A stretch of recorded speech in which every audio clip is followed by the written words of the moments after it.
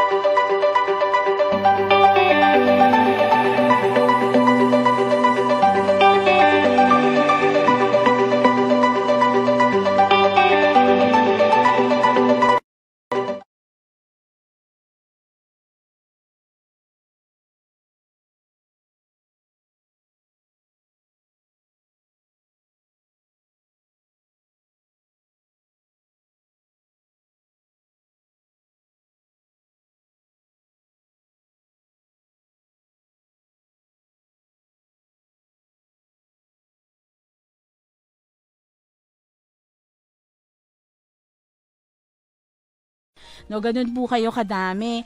Binabasa po namin ang comments ninyo. Uh, alam ko maraming na-excite sa kanilang mga certificate. Marami ata nag-aantay pa ng email. So we understand, we know exactly yung mga problems po and we know exactly your concerns. We are uh, we are uh, addressing all of them po, no? So wag po kayong mag-alala. Kamusta po ang uh, inyong exam? Kamusta ang uh, kamusta ang first session natin? Nakakatuwa na na-excite kayo. Uh, parang nakaka-excite po no na, na natutuwa kayo. Parang may nag-comment dito walang audio, Sir June. Oo, i-adjust po natin. O, so hello na lang ulit. kasi hindi ako narinig kanina. So hello na lang po ulit kasi wala daw akong audio kanina. Uh, please comment saan po kayo nanonood? Where are you watching from? Okay? Tapos, ngayong araw po, we're going to have our second session. Uh, napakaganda po ng session natin today. Kaya wag nyo pong imimiss. At saka yung ating mga keywords, wag nyo, wag nyo rin pong imimiss ang ating mga keyword. Importante po yon. We're going to be giving you two keywords today. The first keyword will uh, give a little later and then another one a little later, no? So hahatiin po natin yung keywords natin. So makinig po ng key- keywords. Hello po, no? From Palawan, Division of Palawan. Hello, ma'am. From Hagonoy East District. Si Ma'am Jesslyn Legaspi. Hello. Watching from Surigao del Sur. Si Ma'am Rosel klase. O, oh, yan. Ang dami na pong online, no? So, hello po sa inyong lahat. So, in a little while, mag-uumpisa na po tayo. If, um, meron din po kaming mga importanteng i-announce. Kasi alam namin na meron sa inyo na problema, may mali sa pangalan ng certificate. Meron pong uh, na time out, na expire ang kanilang mga link. So we we listen to you, we read all of your comments. So wag po kayong mag-alala. I-address po natin 'yan at the end of the show, okay? So makinig lang po kayo. So siguro uh, para ano no, para maka let's go through ano na no? Let's go through the the ano na po, the anong tawag dito? Uh, makapag-umpisa na po tayo, no? So, let's pause for a prayer. Mag-uumpisa po tayo lagi with a prayer.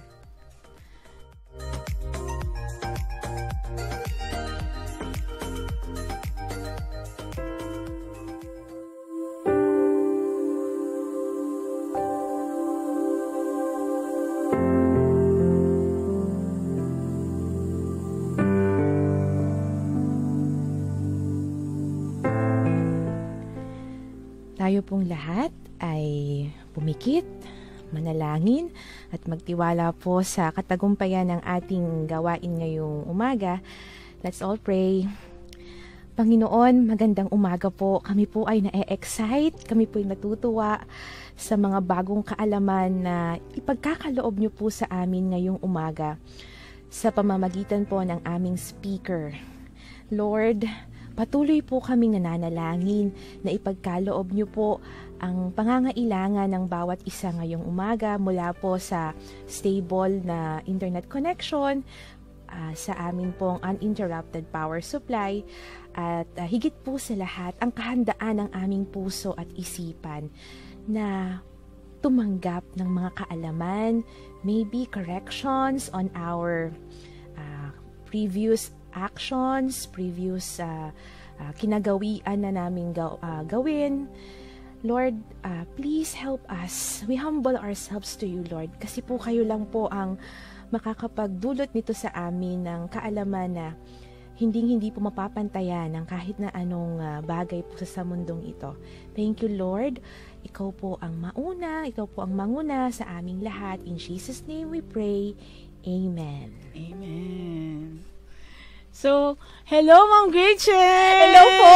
Napapatugtog tayo kay Ma'am Gretchen, di ba? Bago tayo mag-umpisa. Patugtog na natin yung ipapatugtog natin para kay Ma'am Gretchen. Kasi po, kung hindi nyo po alam, nag-birthday po si Ma'am Gretchen!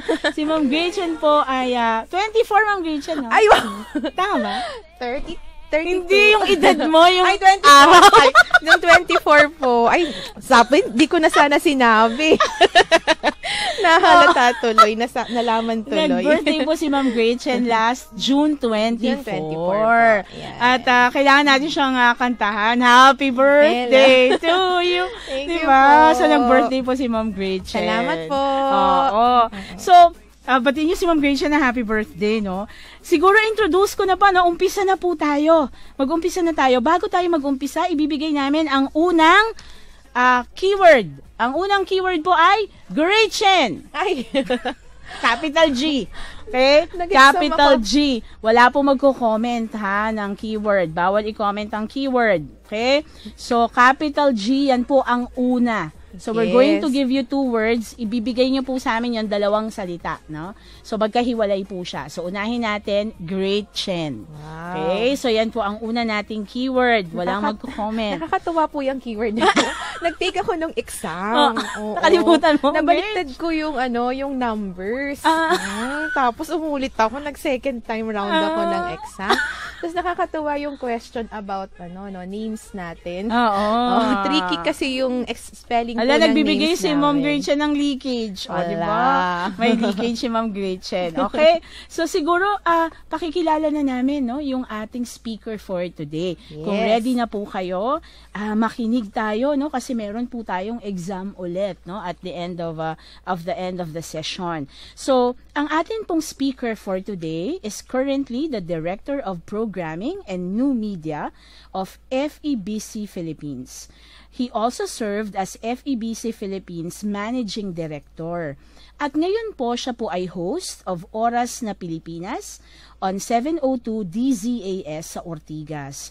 Host of Times of Refreshing na ini-air po sa FEBC Cebu at dito po sa Care 104.3 The Way FM from 3 to 5 p.m. every day, Monday to Sunday. So please gi- let us give no at a very very warm welcome to our very generous na mag-share at very competent po na speaker, Sir Efren Paliorina and the Power of Radio. Hello. Hello. Welcome, to Radio, 101. Today we're talking about the power of radio. Pag radio ang binanggit natin, iba't iba ang kahulugan niyan sa iba't ibang mga henerasyon. For baby boomers like me, radio was a huge box. Hindi nga siya pang tabletop lang eh. Ang radyo sa bahay namin nang ako'y lumalaki ay talagang kasing taas ko. And um, um, ano siya, big console at meron siyang mga pintuan na ikinakandado ni tatay pagka ayaw niya makinig kami. Pagka dapat ay matulog na. For the Generation X, well, that generation um, grew up with a radio that was a little bit more uh, portable. May radyo na sa sasakyan, so radio in the car, and radio in the pocket. Pwede nang bitbitin kasi lumiit na ang radyo, de baterya na, at, at may transistor na. For millennials, pag sinabi mong radyo, aba, ay yun yung uh, uh, bit-bit pa rin nila, yes, pero very, very mobile na siya. At for Gen Z, nako, ito mga teenagers ngayon, this is radio anywhere. Pag sinabing radio, aba, kahit saan pwede ko yung uh, mapakinggan. Kahit ano ang gamit ko, uh, pwede kong maka, mapakinggan ng radio na, na gusto ko. On demand ang kanilang um, uh, ibig sabihin yan. And for the generation following the Gen Z, Generation Alpha, ito yung mga toddlers ngayon, yung mga maliliit na, buli, uh, na bulilit. Sila ngayon ay uh, pagka lumaki, uh, hindi nila maintindihan kung ano ibig sabihin ng radyo. Except what they know na itong radyong ito ay isang maliit na function na pwede sa tinatawag na Internet of Things. Lahat ng mga bagay konektado na sa pamagitan ng internet at radyo isa lang doon. Napaka halos hindi nga masyadong napapansin eh. Kasi ditong Internet of Things na kinokonekta ng web technology, andiyan na ang balita, ang entertainment, education, pati ang iyong career, ang social life mo, travel mo, lahat ng transactions mo, nandiyan na. Yan ang mundo ni Generation Alpha. So, asasan tayo ngayon? Well, alam po ninyo, marami ng pinagdaanan ng radyo. Nung uh, nagsimula ito ay siya yung darling of the communication world kasi, wow, Dati puro messengers lang. Dati newspaper lang. Dati ang mga kalatas, telegram lang. Tapos nagkaroon ng radyo, aba, nagkaroon ng biglang pagsabog, pag, uh, paglaki ang potential ng pwedeng uh, maidulot nitong bagong komunikasyon na to. Radio has endured generations and generations of technology advance. So, I call it a very enduring medium. Tingnan natin kung bakit. Well, radio is very human. Ibig sabihin, um, ang strength ng radyo ay nandoon sa the fact that it takes people to make it work and then it is for people. Ang nagpapatakbo nito, ang gumagamit ng radyo ay mga tao at ang consumer nito, tao rin, hindi robot, hindi mga scanners. Ang mga uh, ang mga uh, taong involved dito ay uh, uh, very human. Therefore, may capacity ang radio to feed our deeper needs. That's what radio does. Unlike itong mga streaming apps katulad ng Spotify, Pandora, lahat ng yan medyo uh, automated, uh, machine-generated. Wala ka halos marinig na boses, kundi yung mga yung music lang na gusto mo. Well, uh, that's good for uh, for some people, and a lot of people do um, enjoy uh, playlists like that, streaming, pero radio, ibang-iba ito kasi merong human element doon. Number two, radio is quite simple. It is plug and play. Libre siya, wala ka na isi-set up, wala ka ng account, wala ka ng sign in, sign out, wala kang passwords. Radio, therefore, is very vulnerable. Dahil sobrang dali siya, pwedeng-pwede siyang ma- magamit sa maling paraan. It can be subject to misuse or abuse. Radio is very valuable. So, depende sa gamit mo sa radio, it can bring huge value to life. In fact, it is a frontliner. At ang daladala niya ay critical information uh, in a crisis, and it brings companionship whenever you need it frontliner talaga maituturing ang radyo. And radio is adaptable. Ito pong uh, sinasabi nating uh, pagiging simple ng radyo, it makes this medium adapt easily with other means of mass communication, katulad ng internet, katulad ng television. Radio is a survivor. Alam nyo, nung dumating yung television, sabi ng marami, ah, wala na ang radyo, lilipat na ang lahat sa TV Uh, hindi po nangyari. TV has developed, yes, pero ang radio just grew alongside television. And radio has also survived the internet. Ibig sabihin, nung, nung dumating ang TV, akala mamatay ang radyo. Nung dumating internet, ay lalong wala na ang, um, ang radyo. Hindi po. Akala ng marami, by this time, in the 21st century, wala ng radyo. Eh bakit nandiyan pa siya? Ang tanong, will radio survive future technologies? Ano ba yung mga future technology sa communication? Well, think augmented reality. Pokemon Go, augmented yan. At iba't ibang mga uri ng um, technology ngayon na pagkahalimbawa na paharap ka sa isang uh, restaurant at uh, meron kang gadget that can that can give you the uh, uh, data about that restaurant, right then and there, hindi mo na kailangan pumasok, kita mo na yung menu niya. Nakatingin ka pa lang sa restaurant. And you, uh, you uh, position your phone para makita yung, kung ano yung restaurant na yun. Augmented reality. As you walk by, you get the data related to that physical environment. People will not have to wait very long to find out kung magsusurvive pa nga ang radyo sa advance ng technology na uh, dumarating sa atin. Ito ang sabi sa isang article na aking nabasa recently. In the distant future, we may be able to communicate by sending our thoughts through a network directly into someone else's brain. We are decades away from such technology, but scientists are working on creating brain computer interfaces that allow people to transmit thoughts directly to a computer. Well, we don't know if, that will ever happen, but uh, certainly alam nating um, merong capacity ang ating mga ex- eksperto sa bagay na ang ating mga scientists at mga inventors para gumawa ng ganyang uri ng komunikasyon. From one brain to the other without people having to talk. Well, bakit kailangan natin pag-usapan ang radyo? Well, simply because ang communication is part of the way God designed us. At the core of God's design for human beings is the ability and the longing to communicate. And therefore, we need to, to really define very in simple terms what communication is. To communicate is simply to send and receive messages to create a shared experience. madali lang magsalita.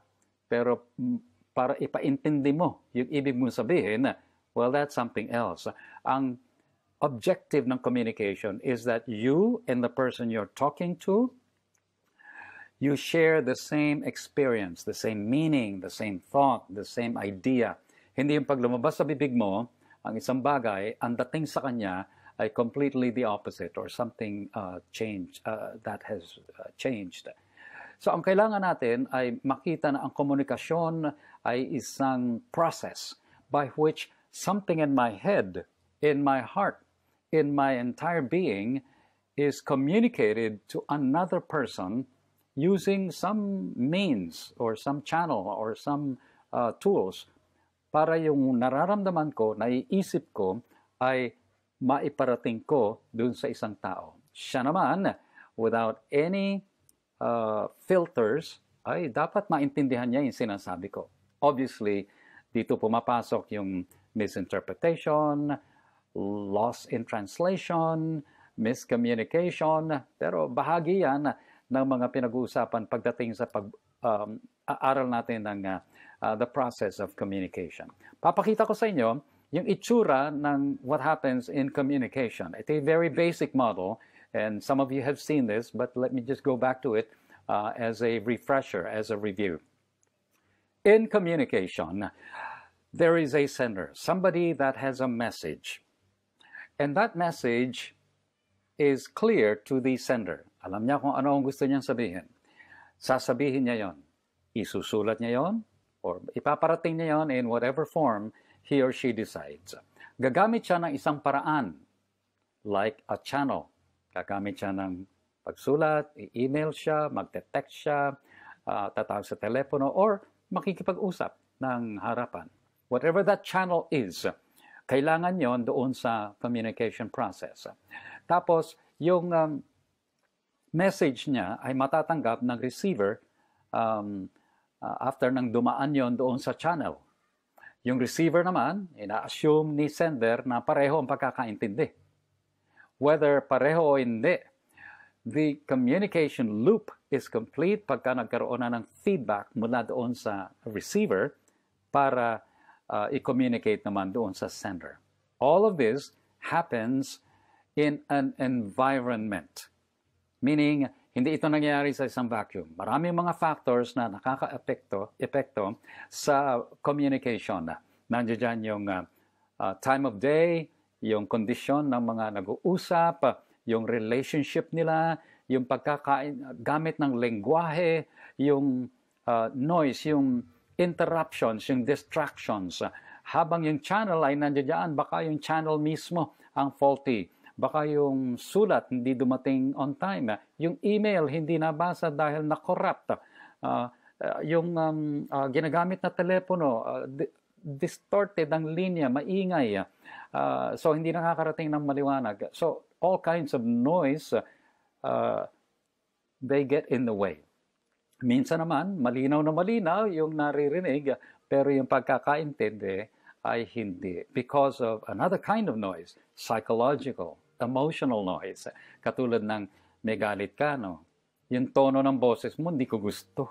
So, nadidistort na yung mensahe dahil doon na. So, the original message does not get to the uh, receiver in the way that was intended. So, itong loop na ito, the sender sending a message through a channel received by a receiver who is able to uh, complete the loop with a feedback. So, yan ang nangyayari tuwing tayo ay nag-uusap, ah, personal. Ito yung mga, uh, the way communication has evolved throughout the ages. Ha? Hindi lang throughout the years, hindi lang throughout uh, the generations, but throughout the ages.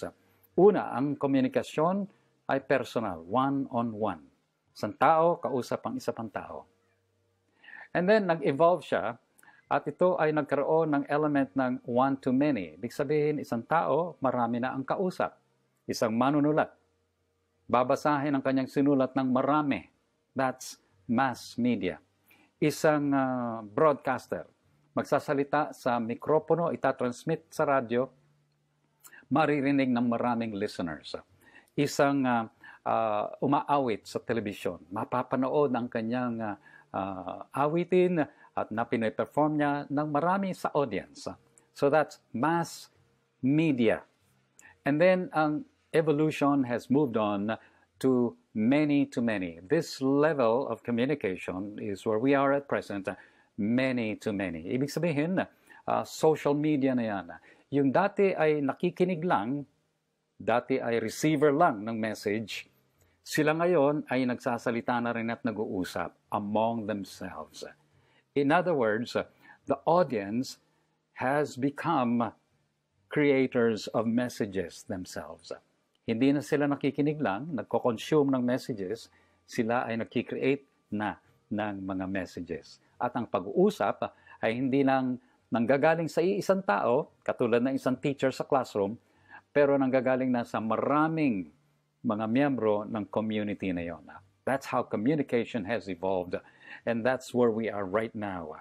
Communication, conversations, interactions are happening constantly throughout the world and using many, many different channels. Pero ang basic noon, mayroong isang nagsasalita, may mensahe siyang pinapadala sa isang channel na naririnig ng isang receiver na siya namang nagbibigay ng feedback din.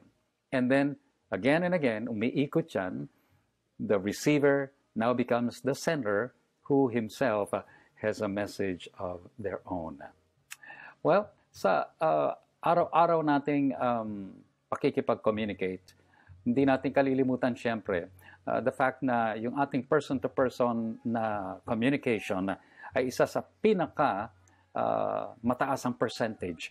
Much of our communication from day to day is personal, face-to-face. Nakikipag-usap tayo. Kahit na yan ay sa telepono, pero yan ay direct uh, uh, I mean, um, uh, pagka ito ay face-to-face na sinabi, uh, meron kang kaharap.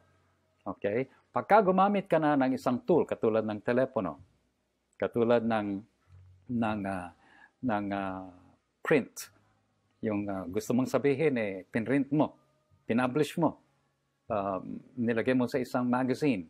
Uh, so, yung, yung message, pinadaan muna sa isang channel bago nakarating sa iyong uh, gustong makarinig nito.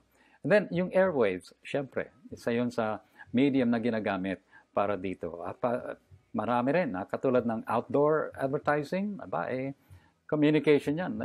Pagka tayo ay lumalab, lagi natin nakikita ang mga bagay na nakapaskel sa iba't ibang mga lugar, advertising certain things.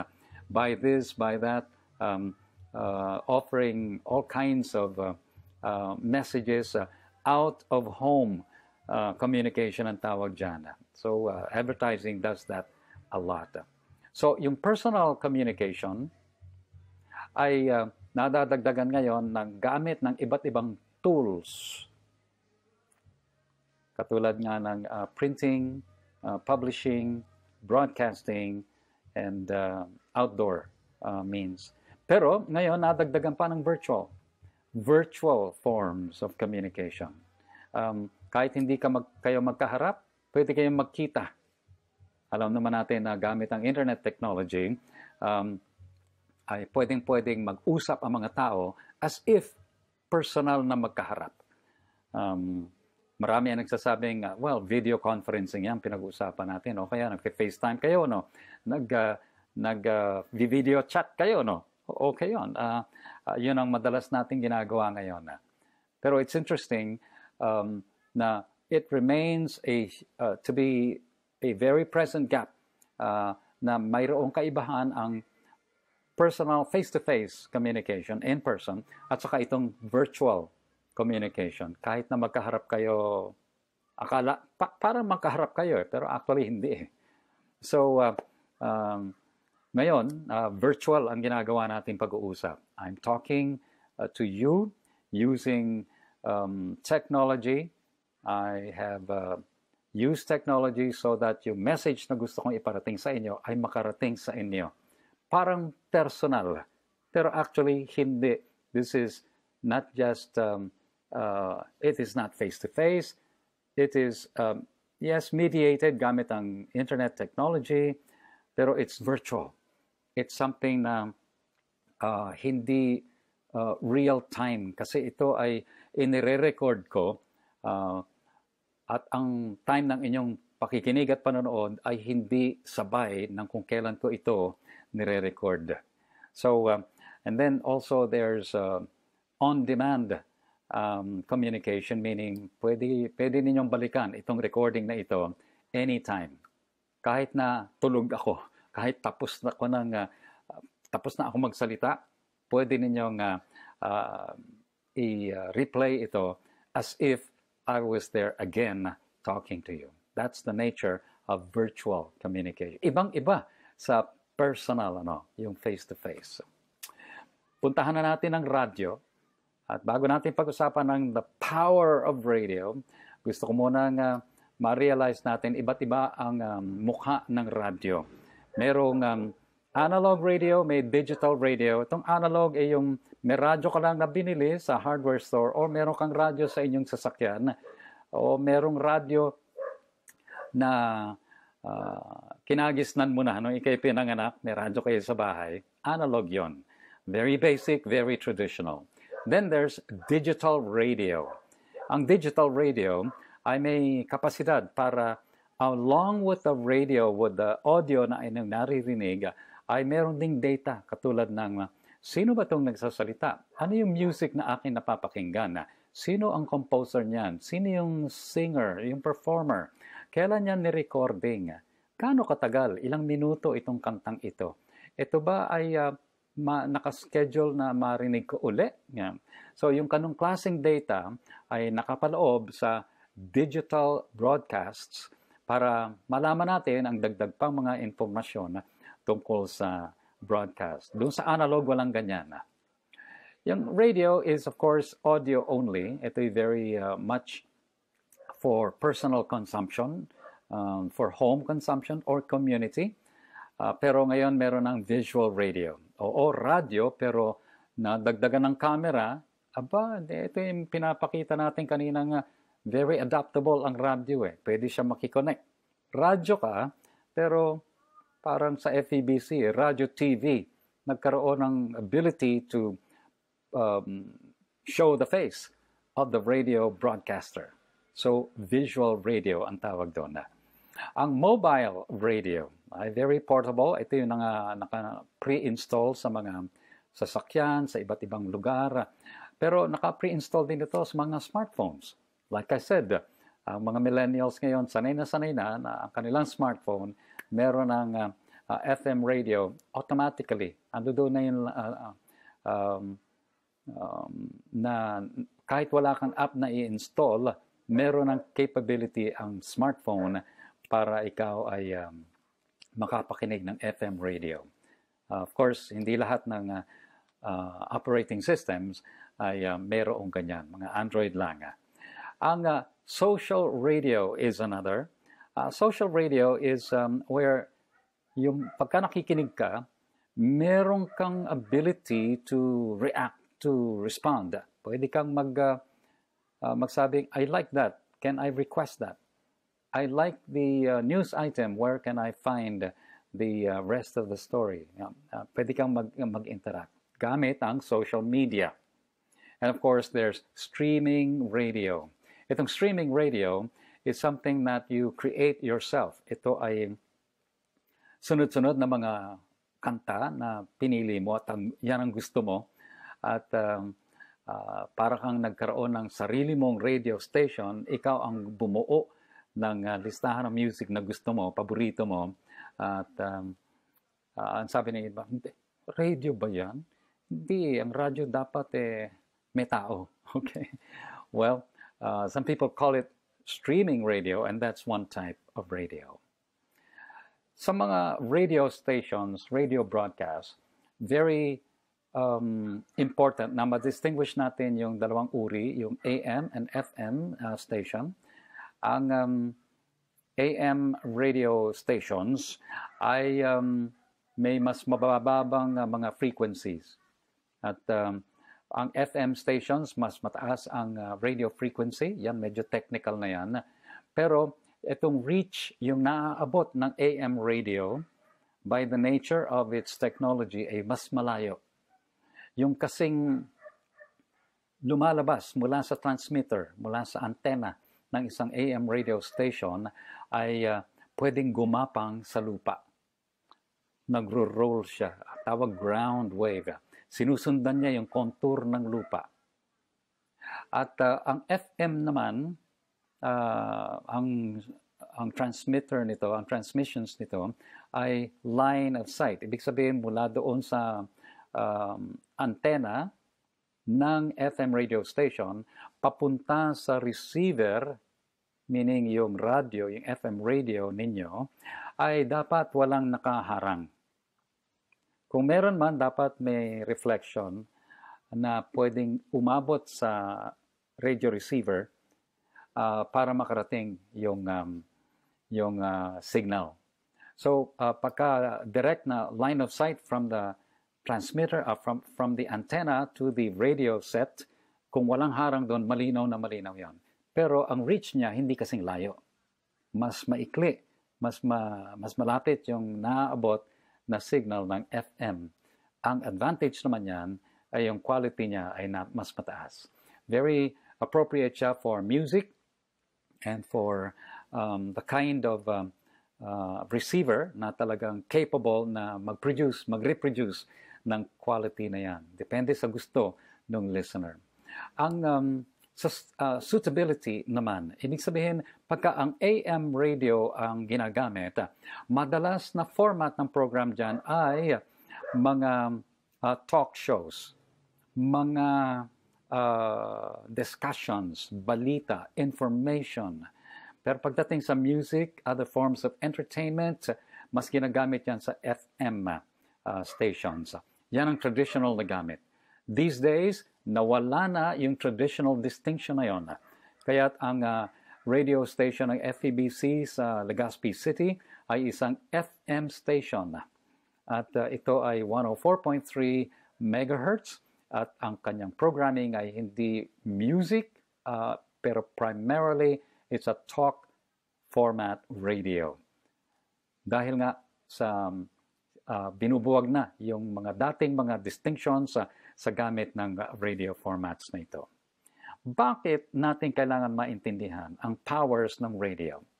kung kayo ay nag-iisip na gumamit ng radyo para sa inyong message, para sa inyong pagtuturo, para sa inyong advokasya, at kung ano man ang gusto ninyong iparating sa inyong uh, audience na gustong maabot. Well, know this, that radio is a very personal medium. Number one yan lagi. Radio is a very, very personal medium. Oo, pantenga lang siya, but it is for the heart. Yes, it is for the ears only, but it is for the heart also. Importante yan. Kasi nagsasalita ka, nakaka-create ka ng relationship with the audience. Okay? Number two, radio is very immediate. Ibig sabihin, it's always present. Madali siyang i-set up, madali siyang uh, makapagparating sa inyo ng mensahe. Pagka may news na kailangang i-communicate, uh, nandoon siya lagi. Uh, pagka mayroong kailangang uh, critical information na kailangang iparating sa community, andiyan siya at um, hindi hindi siya mahirap uh, baguhin. That's the nature of radio. Uh, then the idea na pwede kang mag-ulit-ulit ng mensahe mo sa radyo ay um, hindi siya out of place. Pwede kang magpaulit-ulit ng mensahe mo sa isang radio station, radio broadcast. Kaya, na, kaya naman, maraming ang mga advertisers, abay, nagpapaulit-ulit ng kanilang mga 30-second commercials. Kaya tuloy na memorize na ng mga tao yung mga kanta, yung mga jingles, yung mga uh, taglines na may memorize na kasi paulit-ulit. One of the strengths of radio is kahit na halos hindi siya iniintindi pagka naka-on yung radio, sa paulit-ulit naman ng mensahe, whether yan ay a canned program, isang advertisement niyan o isang announcer na paulit-ulit niyang nire-remind ang mga tao na mag-ingat, mag-face mask, mag-physical distancing. That creates recall. Strength yan ng radyo. And then, of course, uh, strength ng radyo ay yung ability to connect. Number one step sa pag-broadcast o pag-communicate, you want to establish a connection.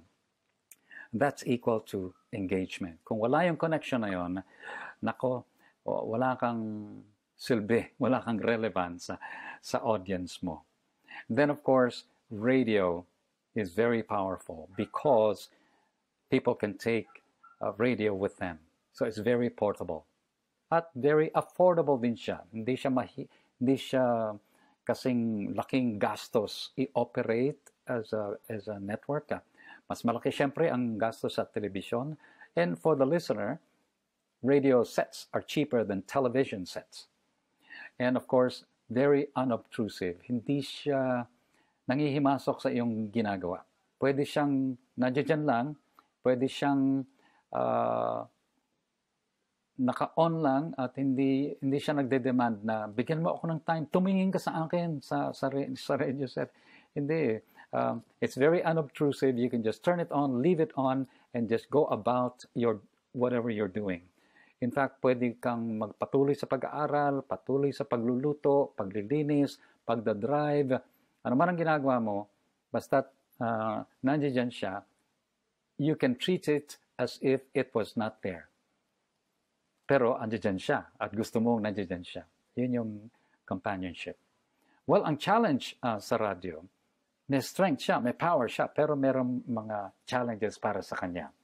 Like I said, for the ears lang siya. Ibig sabihin, ang daling ma-distract ng tao. Kung importante yung sinasabi mo sa radyo at yung listener mo ay na-distract kasi wala siya nakikita. Ang nakita niya ay yung nasa harap niya personally sa bahay, sa kalye, sa kanyang uh, paligid. Eh, uh, wala na. Yung naririnig lang ay nawalan na ng halaga kasi mas binigyan ng atensyon yung mga nakikita sa paligid. That's one of the disadvantage of being uh, um, for the ears only. That's why, ang sabi nga eh, radio is a blind medium because the broadcaster is blind. Hindi niya nakikita yung kausap niya. Um, so, in a way, yung, because it is for the ears only, ang daling uh,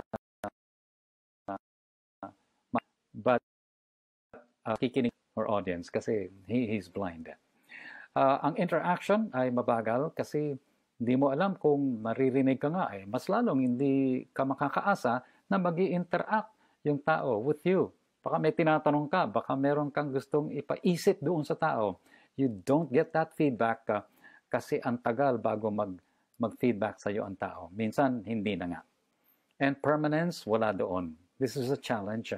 Ibig sabihin, pagka nasabi mo na ang isang bagay, tapos hindi ka narinig ng listener, ano daw, ano daw? Ang sabi ba niya, sampu o dalawampu? Uh, uh, hindi, hindi, hindi mo maku- makukuha yung full attention at hindi mo alam kung kailangang ulitin, kuha na ba? And that's, uh, uh, that's where uh, radio can be uh, very challenging to use. Kasi once na masabi mo na uh, at hindi mo inulit, yung listener hindi na niya mababalikan. Uy, pwede ko ba marinig uli yon? He has no way kung radyo lang yan eh. Um, so, um, once content is aired, it's gone. Hindi katulad ng sa dyaryo, ano nga ba yung sinasabi? Ah, ito, babasahin ko lang uli. Okay. Uh, audience uh, attention. Nako, napakadaling uh, mag-wander off ang mind ng listener mo. Uh, katulad bang uh, parang wallpaper ka lang eh, hindi masyadong pinapansin. And sometimes, uh, para kang, kasi nga hindi siya ob- obtrusive, hindi siya nakikialam sa ginagawa mo, then nagkakaroon ng parang narcotic effect. Um, yung on and off switch, andi dyan, pagka ayaw ka na ng uh, listener, off ka lang, wala na. And loyalty, pagka mas nagustuhan ng listener yung ibang stasyon, ang daling lumipat ng stasyon. So it's really incumbent ab- uh, upon the broadcaster na tatlong bagay ang lagi mong iisipin. Kung gagamit ka ng radyo, relevant ba ang iyong sasabihin? Kasi ito ay pangtenga lang eh. So that means yung, yung iyong sasabihin, makakonect ka agad. Ikalawa, yung bang sasabihin mo makakapagsimula ng isang usapan. Can it start a conversation? Yun yung engagement. Kung na-interest mo lang siya dahil nakaka-establish ka ng connection because interesting yung sinabi mo. Pero hanggang dun lang, uh, wala na masyadong mangyayari. And then of course, ang gusto natin itanong ay, yung ba't sasabihin mo magkakaroon ng potential impact sa kanya? Mababago ba siya? Will he see value in what you're saying? Magkakaroon ba siya ng reaction na, oo nga, ano, tama siya subukan ko ngayon, then that's a move towards change. Whatever that change na gusto mo makita sa iyong audience. So I'd like you to think um, based on those powers and strengths and those challenges. Think about three questions. Ito yung uh, three questions na gusto kong isipin ninyo. One, do you think, would radio continue to survive as a medium of communication in the Philippines? Given itong mga nangyayaring developments of technology, magtatagal ba ang radyo? Will it continue um, as a viable medium of communication? What do you think? Explain. Ikalawa, sa inyong palagay, what is the best use of radio in the context of present-day realities in the Philippines? Given itong mga nangyayari sa ating uh, paligid ngayon, ano ang gamit ng radyo na angkop sa mga realidad na to. At ikatlo, kung ikaw ay magmamanage ng isang radio station, ano ang gugustuhin mong marinig ng mga tao uh, pagka sila ay uh, nag-tune in sa iyo? Anong klaseng mga programa? Uh, ano-anong klaseng mga personalities ang ilalagay mo na announcer, mga host? Um, ano ang gusto mo maging tunog ng iyong stasyon? Um, the overall sound. Puro music ba? Puro balita ba? Puro drama ba? Puro talakayan ba? Puro mga uh, uh, discussions, intriga, jokes? Uh, ano ang gusto mo maging uh, overall na tunog? At anong klaseng feels? Ano ang gusto mo maramdaman ng mga tao? Uh, or uh, anong klaseng vibe ang gusto mong iparating? Uh, sa radio station mong yan. Ang lahat ng yan ay pwedeng-pwede mong mapag-isipan even now as you think about whether you want to go into radio or not. At this point in, uh, in your planning of your communication journey, your journey as a communicator. And that's it. I hope you found this challenging and stimulating enough. Ako po si Efren Palyurina. Maraming salamat. Uh, anong tawag dito? The power The of power radio. of radio. Opo. And uh, we are very, very lucky po today because uh, siya po ay makakasama natin live via Zoom. Yes. So kung meron po kayong mga tanong, kung meron po kayong gustong itanong kay Sir, this is the time na kayo po ay uh, mag-participate, no? Meron na po kaming nakuhang ilang mga tanong and hopefully kayo din po, no, you could uh, express na kung ano po yung gusto nyong ma-express kay Sir uh, Efren. So we'll try to see, no, kung andito na po si Sir Efren. Uh, if uh, we could talk to Sir Efren po. So if you have anything, no, if you have something to say to him or questions, gusto niyo pong ma ma-clarify or something, no, you can always post it po and then we'll read it na lang po to him. So antayin lang po natin sandali si Sir Efren. Uh, kinukontak lang po natin siya. Yeah. So, maraming thank you ang nababasa natin Oo. sa ating mga com- sa ating comment box. At saka ang daming nagko-compliment sa voice ni Yes, Sir, yeah. no? Napakalamig. Sabi ng iba, napakalamig, giniginaw. May jacket ba dyan?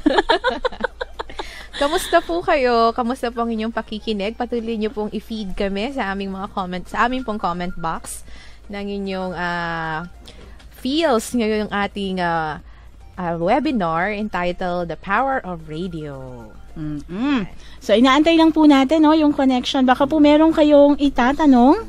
Ah, kamusta ba? Kamusta nga ba, no? May mga tinanong na si Sir. So, siguro, bigyan ko na kayo ng tip. Yung mga tinanong ni Sir, lalabas sa quiz nyo. Okay. Yung mga last part siguro, ma'am, ano? Oo, yung Oo. tatlong binigay niya. May tatlo talaga Oo, siyang may binigay tatlo na siyang questions, di ba, sa dulo. So, yung tatlong yon for sure, no, itatanong namin yan sa inyo. So, meron na kayo kagad na clue kung ano ang inyong sasagutin na question. Tapos, ah, maraming salamat, no, kasi hindi nyo kami iniiwan. Nandyan pa rin kayo. You're still watching. As Okay? far as Zamboanga City, meron Oo. tayong ah, participant from Zamboanga, from Pangasinan. Ang dami. Oo. Tapos siguro may mga nagtatanong din kung open pa yung registration. Bukas pa po, no? Open pa po yung registration natin. Uh, if na-miss nyo po yung first, kindly watch na lang sa Facebook, no? Meron naman pong naka-record dyan. So, basahin nyo na lang po. Tapos, another good news is, si Sir Efren po is, ano talaga, very generous, no? That he gave us handouts pa. Oh, kaya isasama po namin yan. Andiyan na po si Sir Efren. Nakita ko na si Sir. Hello po. Andiyan na po siya. Kunin lang po natin yung sound ni Sir. Hindi pa namin siya naririnig. Oh, napaka-busy tao nito ni Sir. Ayan. Hello? Good morning, po, Sir.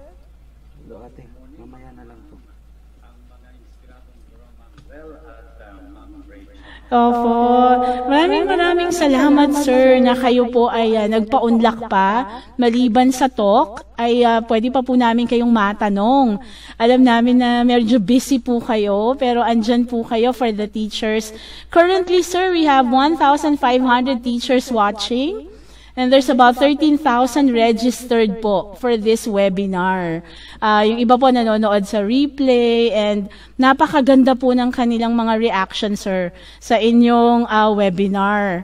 Ah, sobrang dami, sir, na pumapasok na sobrang na-appreciate, sir, talaga yung boses nyo. Ang lamig daw, sir, gusto nilang mag-jacket. Ang ganda-ganda daw, sir, ng boses. So, sige, sir, ah, magtatanong lang po ako. Isa po sa mga na, na-post na questions, sir, is, tinatanong po nila, sir, yung opinion nyo daw po, paano daw po ba talaga maha-harness yung use ng, rad- ng radio, yung power ng radio, lalo na po when you use it for education? If meron po kayong ah, opinion on that. malaking um, opportunity na yung radyo ay magamit uh, i-offer natin sa DepEd, lalo na sa basic education. Of course, alam natin na labintatlong levels yan, ano, from K to 12. So hindi lahat ng mga uh, levels na yan ay angkop uh, na gamitan ng radyo. Opo. Dahil nga for the ears only ang radyo. Maliban na lamang kung samahan mo siya ng iba pang medium. Pero kung radyo lang, meaning uh, tenga lang ang gagamitin ng estudyante, baka mas bagay siya dun sa matataas na mga levels. Kasi ang radyo nakakapag-create ng na nakaka-stimulate ng imagination, na uh, nakakapag-create ka ng stories um, na uh, good for for part of the of the lesson. Pero hindi for complex uh, concepts, um, mathematical concepts, uh, scientific concepts. Pero pagka stories, literature, history, culture, yung mga bagay na yan ay talagang bagay na bagay na gamitan ng radyo. Opo. Um, we are currently working, meaning FEBC, we're currently working with DepEd para makabuo ng isang way to um, you, uh, for DepEd to use radio stations.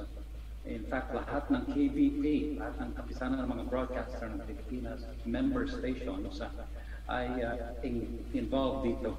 So we want to uh, say, uh, DepEd, we are here, we want to serve, we want to be a part of the blended learning uh, project uh, concept, uh, uh, paano kami makakatulong.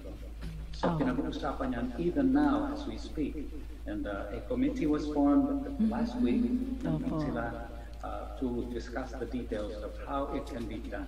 So in a few uh, weeks, we should be able to come up with the solutions. Mga po ng lahat ng mga teachers kung paano talaga magiging uh, uniform at standard yung mga paraan ng paggamit natin ng radyo.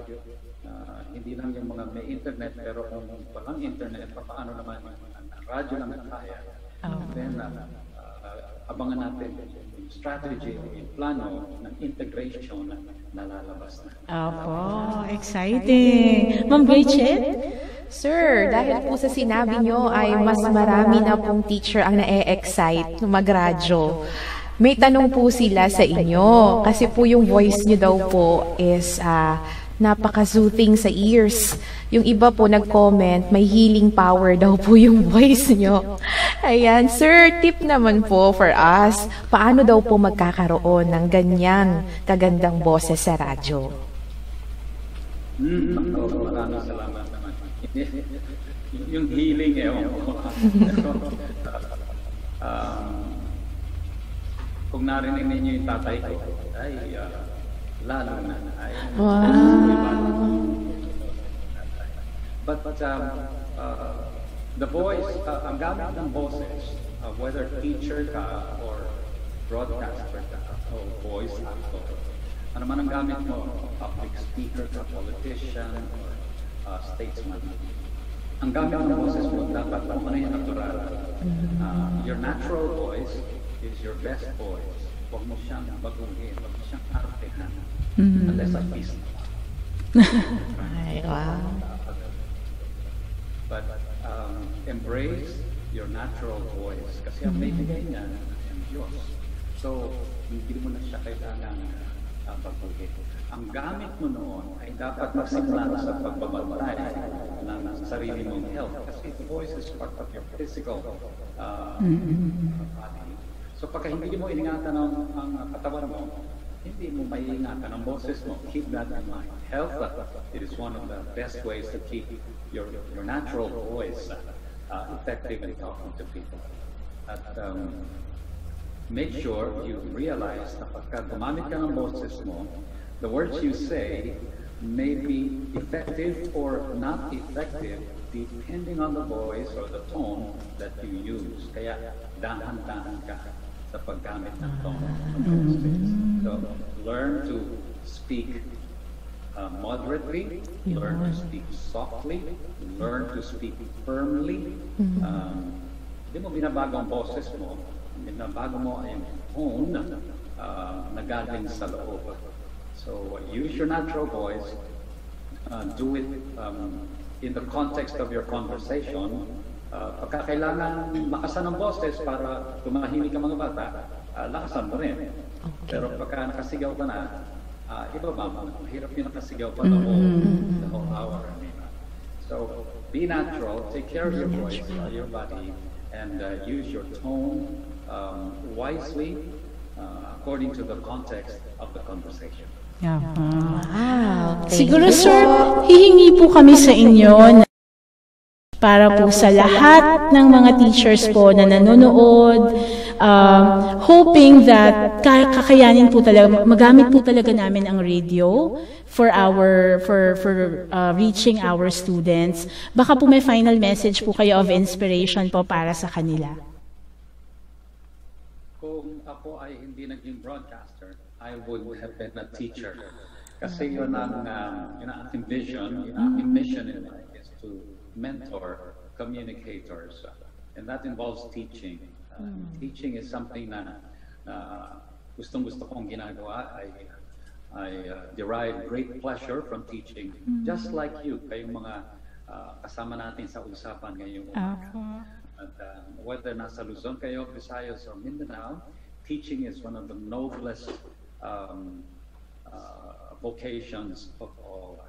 At uh, gusto ko sanang uh, i-encourage ang bawat isa sa inyo to, first of all, before you go into radio in a serious way, kayo mismo, learn to listen to radio critically. Mm-hmm. Ibig sabihin, pagka nakikinig kayo sa radyo, hanapin ninyo yung mga bagay na pwede ninyong komentohan. Bakit mas magaling itong isang radio station na to kaysa ito sa isang radio station? Mm. Bakit mas mahusay mag-communicate yung isang broadcaster kaysa yung isang broadcaster? Mm-hmm. Bakit mas uh, um, maraming following? Bakit um, mas malinaw dito? Bakit dito parang walang sinasabi isang oras na? Mm-hmm. So learn to listen critically. And uh, wag lang kayo nakikinig na parang binuksan mo yung radyo, uh, bahala na. Uh, yun yung uh, gusto mo lang na makapakinig ng music, gusto mo lang mahele, yun yung narcotic effect na ikinoment ng isa sa inyo. Yes, uh, meron parang mm, na ano ka na nagpapaantok na lang. Well, that's one way to use radio. Pero para sa mga teachers, ayaw nating antokin ang ating mga uh, tinuturuan. So, um, connection is one of the first uh, things you want to be aware of. Establish your connection with a story, katulad ng ginagawa ninyo sa klase din sa radyo. And then the conversation. Take the connection further at learn to converse, learn to discuss, learn to mm-hmm. interact with students. Kahit sa radyo, pwedeng gawin yon. And then look for the moment when we can introduce change in the life of the students. Yes. Connection, conversation, change. and Yeah. Uh, your, uh, your teachers, our teachers ngayon are the frontliners. Uh, talagang um, uh, nagpahinga tayo ng matagal pero ito sasabak na tayo. Opo. And we, I wish you all the very best in um, embracing blended learning. Itong um, most essential learning uh, competencies ay uh, kailangan i-embrace natin as the new challenge for the new teacher. God bless po. Me- Salamat po. Thank you, thank you so much for the time. Salamat po, Sir Efren. Thank you po. Bye. Spot na po tayo.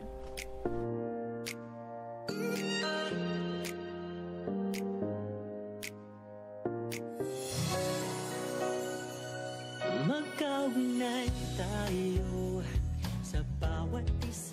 nag-uusap Nagmamahal, nagsasama-sama Dahil ikaw ay aking kapatid Sagot kita Hello, Karian. This is Raquel Camolandong. It is with much gratitude that I address you as Karian because we at CARE 104.3 DWAY FM know that at this time of pandemic, we need the comfort and care of one another. We know that we are at a most vulnerable time, not only in the history of our local communities, but more so the entire world. Indeed, this pandemic has become larger than life. Our dear Karian, We are then appealing to you for partnership as though God were appealing on our behalf. Never will we allow our voice to be silenced on air, especially in these challenging times. As such, we are challenging you to be a part of this once in a lifetime opportunity in human history. Do you pray with us and financially give to God's work. FEBC is a faith mission, which means that we trust God 100% to use His people like you to provide for His work.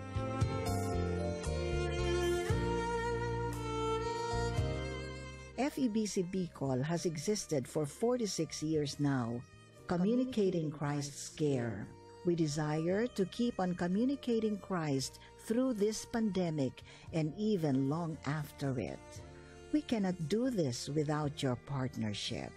You may give through account name Far East Broadcasting Company, China Bank, Legazpi City Branch. Account number 180 Other payment options may be through door-to-door transfer, through courier service, or regular remittance. Our address EBC DWAY, Barangay Arimbay, along the National Road 4500 Legazpi City, Philippines. Our contact numbers are 0946 763 9858, 0915 931 7184, and 0929 359 4298. For those residing in Legazpi City, just text us and we will be happy to pick up your givings. As I close, there is this one reminder to us as your frontliners at CARE 104.3 DWAY FM. Every time we share accurate information of hope and inspiration.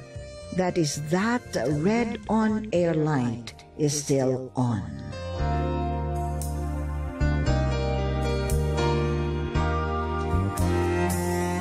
We wish you God's help, healing, and empowering in these trying times as we know that He will still be victorious even over this pandemic.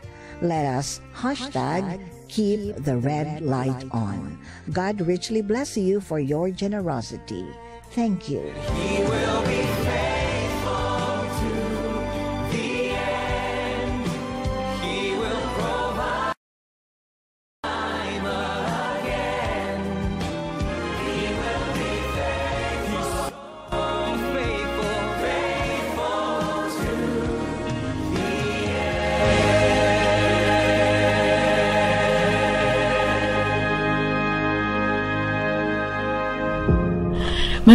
Maraming salamat po sa aming uh, speaker for the day daw na Uh-oh. binigyan niya pa po tayo ng interview. Nakakuha po kami ng feedback na parang mahina ating audio tapos nag-echo. So what we'll do na lang po is we'll cut that and then we'll, we'll post ipopost po namin ulit yung interview. We'll just do some uh, adjustments sa audio para po kung na-miss nyo siya kanina, mapa- mapanood nyo. Kasi ang ganda. Opo. Ang ganda ng tips niya. Ang ganda po ng lahat ng sinabi niya. Tsaka yung encouragement niya sa dulo, Ma'am Gretch. Yes. Na gusto niya pala magturo. Oo, no? Teacher by heart din Teacher pala si din sir. pala siya by heart. Opo.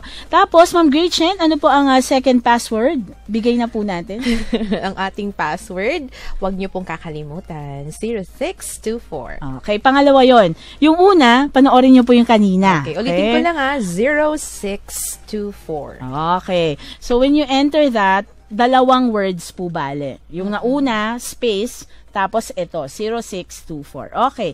So, if you like po pala, please, ano, listen naman po to Sir Efren. Meron po siyang show, yung uh, Oras na Pilipinas, sa 702 DZAS sa Ortigas po sa Manila. Meron din po siya nung uh, sa Care 104.3 The Way FM tsaka po sa Cebu, sa FEBC Cebu every 3 to 5 p.m. Monday to Saturday yung Times of Refreshing. Maganda po yung mga music doon. Pinapakinggan ko yung pang pa-refresh sa sa hapon, no? So if you'd like to ano to follow po, no, si Sir Efren. Okay. So uh, we'll be giving you some announcements. Magpo-post po kami sa Facebook ang bagong announcement para po sa mechanics at saka yung mga bumagsak po sa test. No, Aray. you would like to watch this, gusto niyo po itong panoorin, no? So wag niyo pong look at our uh, we will be posting a new video at panoorin niyo na lang po kasi kukulangin po tayo sa oras. Okay? So ngayon po, ibigay ko na po yung uh, kay Ma'am Gretchen yung ating uh, air para po makapagpabaon na po sa atin si Ma'am Gretchen dito sa Teacher's Takeaway. Samahan natin si Teacher Gretchen sa pabaon niya sa atin ngayong linggo dito sa Teacher's Takeaway.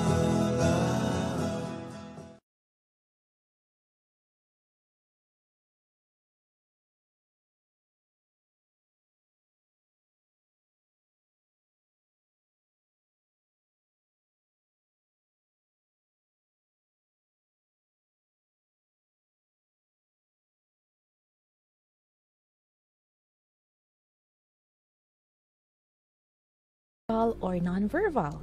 Verbal means the use of the mechanics of voice, and nonverbal, maybe it's a facial expression, body movements, emotions, posture, etc.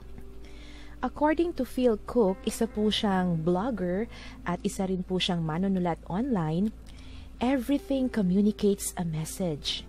Even when you think you are not communicating, it communicates a message.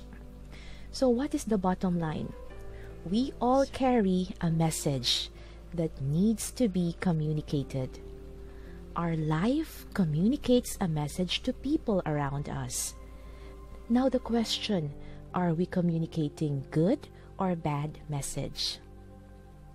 In 2 Timothy chapter 2 verse 15, do your best to present yourself to God as one approved a worker who does not need to be ashamed of, who correctly handles the word of truth. Sa atin pong mga teacher, ang ating buhay, ang ating personal na buhay communicates a message also to our students. Malaki po ang nire-require sa atin. Sabi po sa layman's term, a teacher must be uh, high in moral or high in morality lagi, no? Uh, naalala ko yung advice sa akin ng aking unang employer. Gretchen, pagsuot mo yung uniform mo, tandaan mo lagi that it always reflects uh, yung nire-represent mong company. Kaya, kahit hubarin mo yan, nandyan pa rin yan sa'yo sa personal na life mo. Sana po mga kaguro, patuloy tayong magsumikap uh, para po tayo ay patuloy na maging approved sa eyes po ng ating mga students, sa eyes po ng ating mga co-workers, higit sa lahat po sa eyes ng ating Panginoon. Let's always carry the good, uh, the good action, the good words, the good thoughts in us, this high morality among us teachers.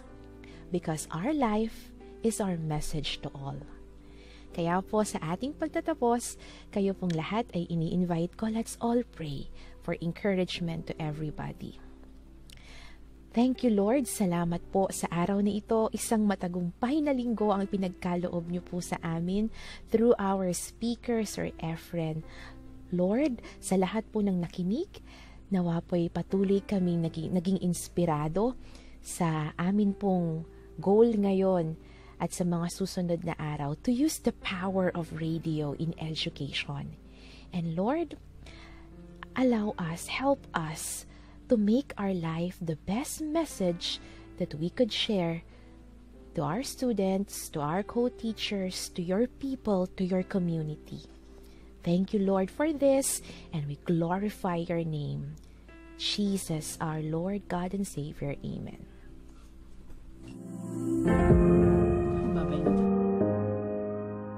Okay. So, isang linggo na naman po ng uh, inspiradong pagtuturo para sa ating mga guro. Uh, sana po ay natuto kayo. Sana po ay uh, kayo po ay uh, na-inspire ngayong linggo. Ma'am Gretchen? the starstruck talaga tayo kay Sir Efren. Oh. Parang yung boses niya talagang uh, pati tayo dito nilalamig. Oo, oh, giniginaw din kami oh, dito. Nako, mas marami pa po tayong mga ano po, uh, magagaling din pong speaker katulad ni Sir Efren sa mga susunod po nating session. Opo. So, siguro uh, dito tayo magtatapos ngayon. Again, no, magpo-post po kami ng uh, video para po sa hindi nakapanood sa umpisa. Ito naman po ay recorded. So, balikan nyo lang po, no? Pwedeng pwede niyo pong balikan at i-review niyo po yung buong ano, yung buong uh, show. Yun pong uh, interview ni Sir Efren, ipopost din po namin siya individual. Iayos lang po namin yung audio if yung iba po daw ay hindi masyadong nakakinig no nung uh, audio na yan. So, dito po kami magtatapos ngayong linggo. Nakadalawang linggo na po tayo. Yay! Third week natin next week. Maraming maraming salamat po pagsama sa amin ngayong linggo. Ako po si Ma'am Zelmike. At ako po si Ma'am Gretchen Nocos. Ito po yung uh, iiwan naming kanta sa inyo ngayong linggo.